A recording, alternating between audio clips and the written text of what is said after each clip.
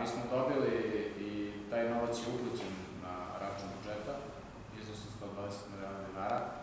Da podsjetim da smo prošle godine isto u decembru dobili 60 miliona dinara kao neku vrstu pomoći. Mi smo to iskoristili za rešavanje dva infrastrukturnog projekta, to je klizište ka toplom dolu i e, ostali deo, preostali deo trga, sad smo kompletirali ceo trg i renovirali.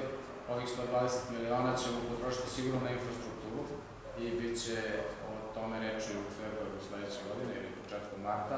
Imamo dosta projekata, vidjet ćemo za koje ćemo se odlučiti, možda ćemo i za više manjih, ali za sada nismo na odluku kako ćemo raspodeliti taj novac.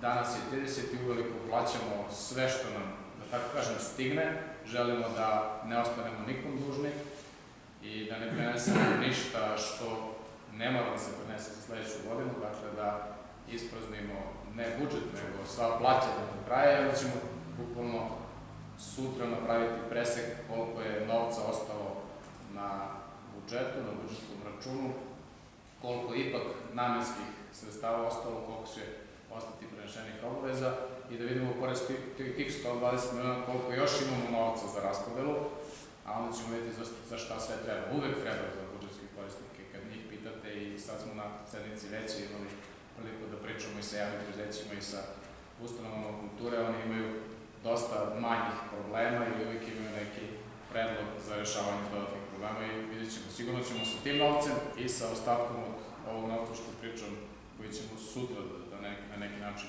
utvrditi koliki je, imati priliku da rešimo još dosta stvari u toku sledeće godine. Zbog toga i kažem da sam siguran da će 2022. godine biti intenzivna i građanski i u svakom drugom